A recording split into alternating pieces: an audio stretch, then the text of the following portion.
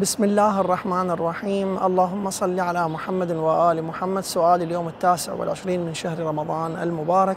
أيضا يتعلق بزكاة الفطرة البعض من الأحبة يسأل يقول ماذا ندفع من زكاة الفطرة ما هي الأجناس التي ندفعها في زكاة الفطرة حنطة شعير تمر ما هو الشيء الذي يدفع كزكاة فطرة؟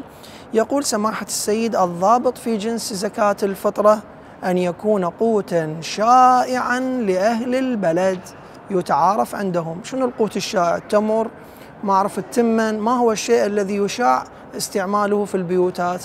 قال الشيء المتعارف حيث يتعارف عندهم التغذي به على سبيل المثال الطحين.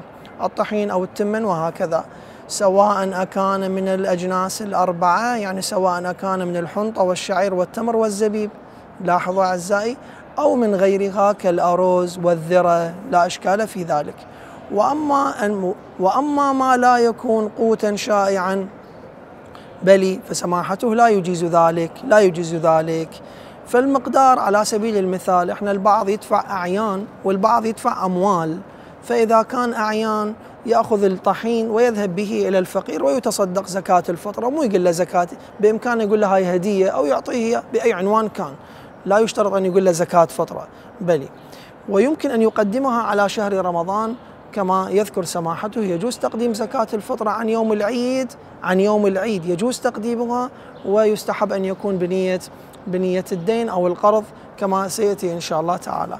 ويمكن أن يكون نقدا يسلمه إلى الحاكم الشرعي. يسلمه إلى الحاكم الشرعي فتبرأ ذمته إن كان غنيا. أسأل الله تبارك وتعالى أن يتقبل منا ومنكم صيامنا وصيامكم ويجعل أيامنا أعيادا ببركة محمد وآل محمد.